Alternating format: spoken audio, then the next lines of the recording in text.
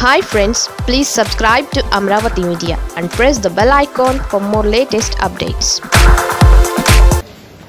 ఈరోజు జగన్మోహన్ రెడ్డి గారు ప్రజల కోసం ఎత్తిన వైఎస్ఆర్ జెండా సగర్వంగా ఎగిరిన రోజు. సో కౌంటింగ్ డే ఆ రోజు తలుచుకుంటేనే ఇప్పటికీ ఒళ్ళు గగురు పడుతుంది. ఎందుకంటే జగన్మోహన్ రెడ్డి గారు ప్రజల కోసం ఎన్నో పోరాటాలు చేశారు ప్రజల అభిమానాన్ని చూరుకున్నారు కానీ చంద్రబాబు నాయుడు దిగజారుడు రాజకీయాల వల్ల రెండు వేల పద్నాలుగులో మిస్ అవటం జరిగింది. కానీ రెండు వేల పంతొమ్మిదిలో మిస్ కాకూడదని మరి పార్టీ అంతా కూడా కసితో పనిచేసింది. ఆ విజయం ఈ రోజు అందరికీ కూడా చాలా సంతోషాన్ని ఇచ్చింది. ఎందుకంటే రాజశేఖర రెడ్డి గారు ఈ ఈ ప్రజల్ని వదిలి వెళ్ళిన తర్వాత మళ్ళీ ఈ రాష్ట్రాన్ని ఎవరు ముందుకు నడిపిస్తారు? మాకు దిక్కెవరు అని చెప్పి ప్రజలందరూ ఎదురు చూస్తుంటే మరి రాజన్న బిడ్డ జగన్మోహన్ రెడ్డి గారు రావటం జరిగింది. ఆ జగనన్న ఎండనక వాననక చలనక మరి ఏ విధంగా ప్రజల్లో తిరుగుతూ ప్రజా పోరాటాలు చేస్తూ ప్రజలకి అండగా ఉన్నాడో మనం చూసాం ప్రజలంతా కూడా రాజన్న పరిపాలన మళ్ళీ రావాలి అని అందరూ కూడా ఈరోజు జగన్మోహన్ రెడ్డి గారిని తిరుగులేని మెజారిటీతో ముఖ్యమంత్రిని చేశారు. ఇది ప్రతి ఒక్క వైఎస్ఆర్ అలాగే జగన్మోహన్ రెడ్డి గారి అభిమాని విజయం అని నేను చెప్పగలను. ఎందుకంటే ఏ నమ్మకంతో అయితే జగన్మోహన్ రెడ్డి గారిని ముఖ్యమంత్రిని చేసుకున్నారో ఈ రోజు ఆ నమ్మకాన్ని వమ్ము చేయకుండా మరి రాజన్న బిడ్డగా జగన్మోహన్ రెడ్డి గారు ఈ రాష్ట్ర పరిపాలించిన విధానం చూసి దేశమంతా తిరిగి చూసేలా ఉంది. ఎందుకంటే ఎవరైనా కూడా ఎన్నికల్లో గెలవటం కోసం ఎన్నో వాగ్దానాలు చేస్తారు మేనిఫెస్టోలో ఎన్నో పొందుపరుస్తారు.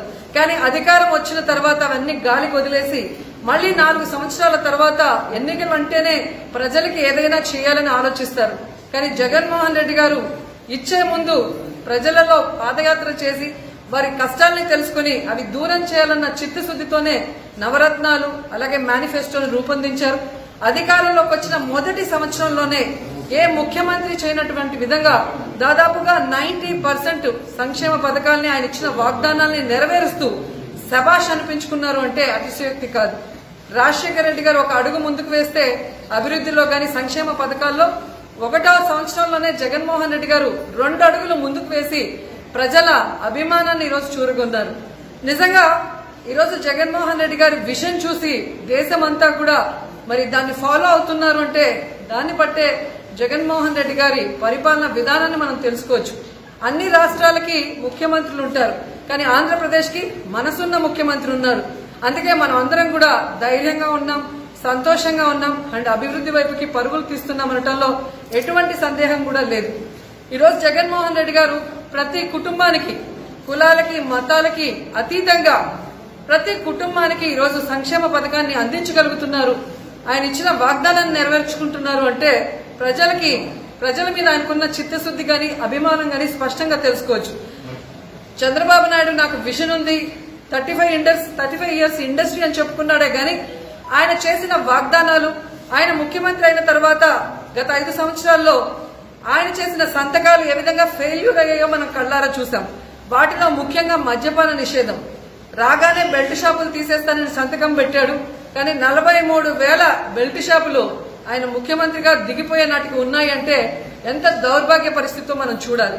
కానీ జగన్మోహన్ రెడ్డి గారు దశల వారీగా మద్యపాన నిషేధం చెప్పారు. రాగానే మొదటి సంతకంతోనే నలభై మూడు వేల బెల్ట్ షాపుల్ని రిమూవ్ చేయడం జరిగింది. అలాగే ఇరవై పర్సెంట్ బార్లను తీసేశారు. ముప్పై మూడు పర్సెంట్ వైన్ షాపులు తీసేయడం జరిగింది. అలాగే లిక్కర్ గవర్నమెంట్ షాప్స్గా కన్వర్ట్ చేసి టైమింగ్ని కూడా కుదించి నాలుగు సంవత్సరాల్లో చేయాల్సిన దశల వారి మద్యపాన నిషేధాన్ని మొదటి సంవత్సరంలోనే చేసి చూపించి మహిళల పసుపు కుంకాల మీద ఆయనకున్న గౌరవాన్ని చాటి చెప్పుకున్నాడు.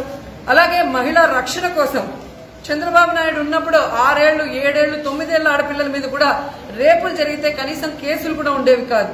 కానీ ఈ రోజు దిశ చట్టాన్ని తీసుకొచ్చి ఈరోజు దిశ పోలీస్ స్టేషన్స్ని ఏర్పాటు చేసి మహిళలు ధైర్యంగా బయట తిరిగే విధంగా చేయగలిగారు.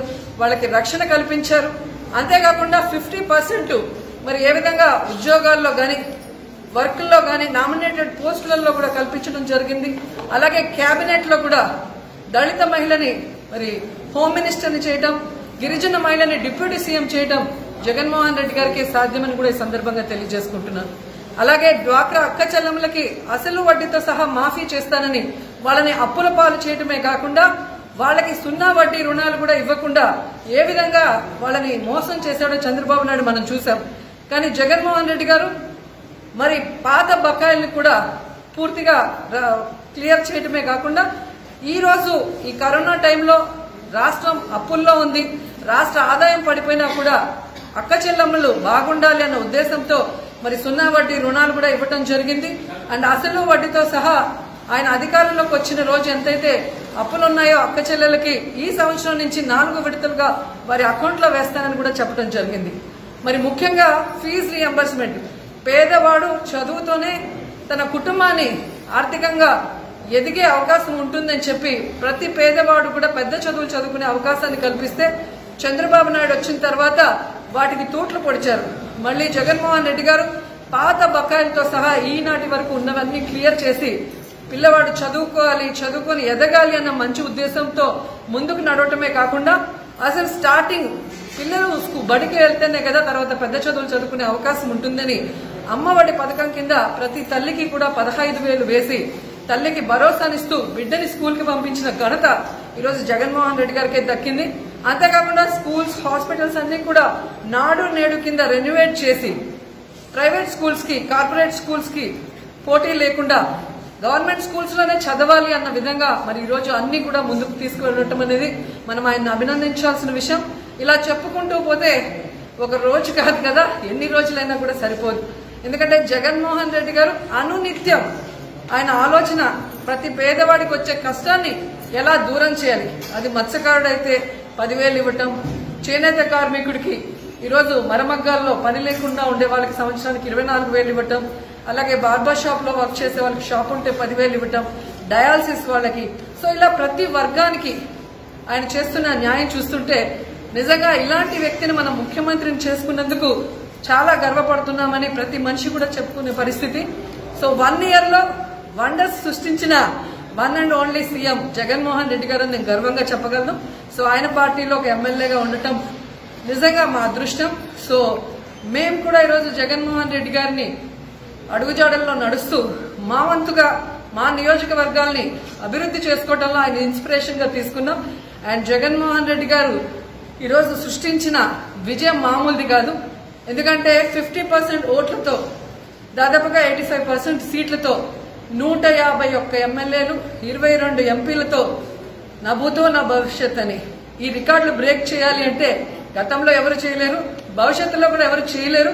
చేస్తే జగన్మోహన్ రెడ్డి గారే చేయాలి అనేది సద్యం అనేది అందరూ కూడా అనుకుంటున్న విషయం. సో జగనన్న ఆరోగ్యంగా ఉండాలి సంతోషంగా ఉండాలి. ఈ రాష్ట్రాన్ని అభివృద్ధి వైపుకు నడిపించడమే కాకుండా పేదవాళ్ళ కష్టాల్ని దూరం చేసి మరి వైఎస్ఆర్ గారి ఆశయాల్ని పూర్తిగా ప్రజలకి అందించే విధంగా ముందుకు అడుగులు వేయాలని కోరుకుంటూ సో ఈరోజు ముఖ్యంగా నగిరి ప్రజలకు నేను కృతజ్ఞత తెలియజేసుకోవాలి.